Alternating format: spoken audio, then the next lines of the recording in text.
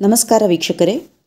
ಇವತ್ತಿನ ದಿನ ನಾವು ಗೂಗಲ್ ಫಾರ್ಮಲ್ಲಿ ಮಲ್ಟಿಪಲ್ ಚಾಯ್ಸ್ ಕ್ವೆಶನ್ಸ್ಗಳಿಗೆ ಒ ಎಂ ಆರ್ ರೀತಿಯಲ್ಲಿ ಹೇಗೆ ಸಿದ್ಧಪಡಿಸ್ಕೊಳ್ಬಹುದು ಅನ್ನೋದನ್ನು ನೋಡೋಣ. ಆನಂತರ ಸುಮಾರು ಜನರ ಪ್ರಶ್ನೆಯಾಗಿತ್ತು. ಮ್ಯಾಥ್ ಕಾಸ್ಟು ಮತ್ತು ಸ್ನಿಪ್ಪಿಂಗ್ ಟೂಲ್ಸ್ಗಳನ್ನು ನಾವು ಲ್ಯಾಪ್ಟಾಪ್ಸ್ಗಳಲ್ಲಿ ಬಳಕೆ ಮಾಡ್ತೀವಿ. ಅದನ್ನೇ ನಾವು ನಮ್ಮ ಮೊಬೈಲ್ಸ್ಗಳಲ್ಲಿ ಮಾಡಬಹುದಾ ಅಂತ ಪ್ರಶ್ನೆ ಇತ್ತು. ಎರಡೂ ಪ್ರಶ್ನೆಗಳಿಗೂ ನಾನು ಮೊಬೈಲ್ನಲ್ಲಿ ಅದನ್ನು ನಿಮ್ಗೆ ತೋರಿಸ್ಕೊಡ್ತಾ ಇದ್ದೀನಿ. ಸೊ ನೀವು ಗೂಗಲ್ ಫಾರ್ಮ್ಸಿಗೆ ಹೋಗಬೇಕು ಅಂದರೆ ಕ್ರೋಮಲ್ಲಿ ಗೂಗಲ್ ಫಾರ್ಮ್ಸ್ ಅಂತ ಟೈಪ್ ಮಾಡ್ತೀರಾ?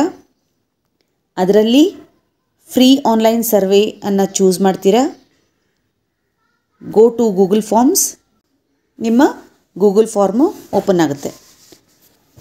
ಸೊ ಈ ಗೂಗಲ್ ಫಾರ್ಮು ನಾನು ಒಂದು ಗ್ರಿಡ್ ವ್ಯೂ ಅನ್ನು ತೋರಿಸ್ತಾ ಇರೋದ್ರಿಂದ ನಾನು ಗ್ರಿಡ್ ವ್ಯೂ ಅಂತ ಹೆಸರು ಕೊಡ್ತಾ ಇದ್ದೀನಿ.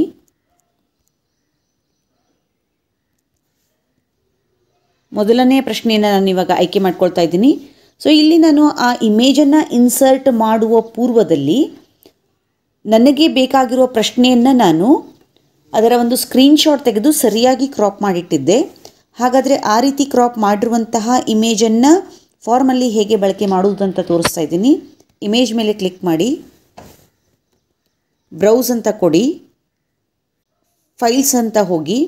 ಕಾರಣ ನಾನು ಅದನ್ನು ಪಿಕ್ಕಾರ್ಟ್ಸಲ್ಲಿ ಮಾಡಿರೋದ್ರಿಂದ, ನೋಡಿ, ಇಲ್ಲಿ ಪಿಕ್ಕಾರ್ಟ್ಸ್ ಅಂತ ಇದೆ. ಈ ಪಿಕ್ಕಾರ್ಟನ್ನು ನಾನು ಚೂಸ್ ಮಾಡ್ತಾ ಇದ್ದೀನಿ. ಅಪ್ಲೋಡ್ ಆಗ್ತಾ ಇದೆ. ಸೊ ಆ ಪ್ರಶ್ನೆಯನ್ನು ನೀವಿಲ್ಲಿ ನೋಡಬಹುದು. ಸೊ ಪಿಕ್ಕಾರ್ಟ್ಸಿಂದ ಬಂದಿದೆ. ಇವಾಗ ನಿಮಗೆ ಬೇಕಾಗಿರುವಂತಹ ಆಪ್ಷನ್ ವ್ಯೂ ಏನಾಗಿದೆ ಇವಾಗ? ಗ್ರಿಡ್ ವ್ಯೂ ಆಗಿದೆ. ಇಲ್ಲಿ ನಾನು ಮಲ್ಟಿಪಲ್ ಚಾಯ್ಸ್ ಗ್ರಿಡ್ಡನ್ನು ಚೂಸ್ ಮಾಡ್ತಾ ಇದ್ದೀನಿ. ನೀವು ಇಲ್ಲಿ ನೋಡ್ಬೋದು ಇದನ್ನು. ಮಲ್ಟಿಪಲ್ ಚಾಯ್ಸ್ ಗ್ರಿಡ್ಡನ್ನು ಚೂಸ್ ಮಾಡ್ತೀನಿ. ನಿಮಗೆ ಬೇಕಾಗಿರುವಂತಹ ರೋ ಒಂದೇ ಆಗಿದೆ. ಸೊ ಆ ರೋನ ಹೆಸರು ಪ್ರಶ್ನೆ ಒಂದು. ನಂತರ ಕಾಲಮ್ಸ್ ಏನಾಗಿದೆ ಅಂದರೆ ನಾಲ್ಕಾಗಿದೆ ಮೊದಲನೆಯ ಕಾಲಮು ಕ್ಯಾಪಿಟಲ್ ಎ ಎರಡನೆಯ ಕಾಲಮು ಕ್ಯಾಪಿಟಲ್ ಬಿ ಮೂರನೇ ಕಾಲಮು ಕ್ಯಾಪಿಟಲ್ ಸಿ ಹಾಗೂ ನಾಲ್ಕನೆಯ ಕಾಲಮು ಕ್ಯಾಪಿಟಲ್ ಡಿ ಆಗಿರುತ್ತೆ. ರಿಕ್ವೈರ್ಡ್ ಅಂತ ಕೊಡಿ. ನೆಕ್ಸ್ಟ್ ಇದನ್ನೇ ನಾನು ಡುಪ್ಲಿಕೇಟ್ ಮಾಡ್ಕೊಳ್ತಾ ಇದ್ದೀನಿ. ಸೊ ಇಲ್ಲಿ ನನಗೆ ಈ ಪ್ರಶ್ನೆ ಬೇಡ.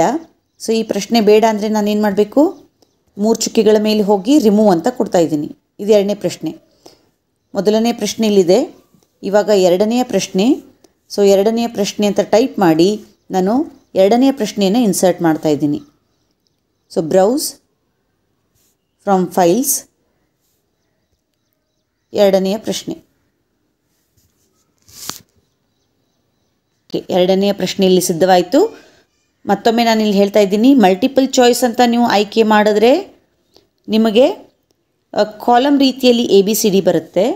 ನಿಮಗೆ ಹಾರಿಸಾಂಟಲ್ ಆಗಿ ಎ ಬಿ ಸಿ ಡಿ ಬೇಕು ಅಂತಂದರೆ ನೀವು ಮಲ್ಟಿಪಲ್ ಚಾಯ್ಸ್ ಗ್ರಿಡ್ ಅಲ್ಲಿ ರೋ ಒಂದೇ ಇರುತ್ತೆ.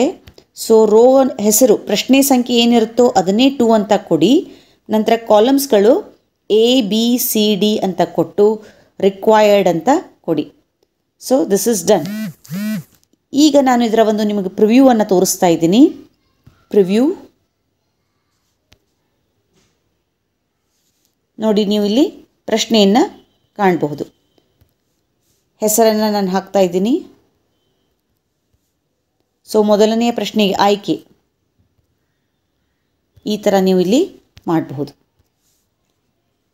ಸೊ ಮಕ್ಕಳಿಗೆ ಈ ರೀತಿಯಲ್ಲಿ ಮಲ್ಟಿಪ ಒ ಎಂ ಆರ್ ಶೀಟನ್ನು ನೀವು ಪ್ರಾಕ್ಟೀಸ್ ಮಾಡಿಸ್ಬೇಕು. ಗೂಗಲ್ ಫಾರ್ಮ್ಸ್ಗಳಿಗೆ ಯಾವ ರೀತಿ ಸೆಟ್ಟಿಂಗನ್ನು ಮಾಡ್ಕೊಂಡಿರ್ತೀರೋ ಹಾಗೆಯೇ ಇಲ್ಲಿನೂ ನಾವು ಮಾಡ್ಕೊಳ್ಬೇಕಾಗತ್ತೆ.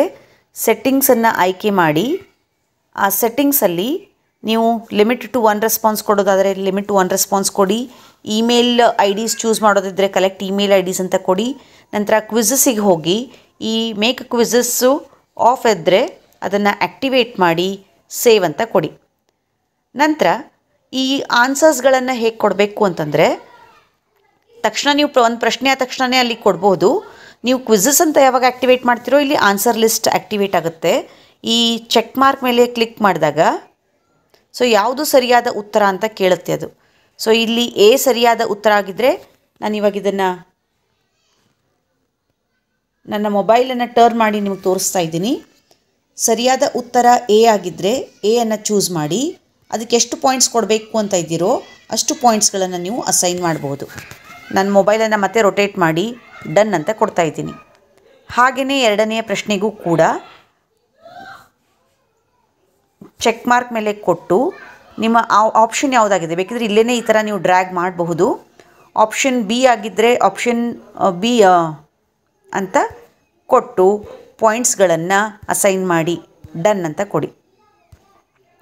ಸೊ ನೋಡಿ, ಇವಾಗ ನಾನು ಇದರ ಒಂದು ಪ್ರಿವ್ಯೂವನ್ನು ನಿಮಗೆ ತೋರಿಸ್ತಾ ಇದ್ದೀನಿ. ಓಕೆ ಸೊ ನೇಮು ಜಸ್ಟ್ ಒಂದು ಎ ಅಂತ ಕೊಡ್ತಾ ಇದ್ದೀನಿ. ಇದು ಆನ್ಸರ್ ಡಿ ಅಂತ ಕೊಡ್ತಾ ಇದ್ದೀನಿ ಇಲ್ಲಿ.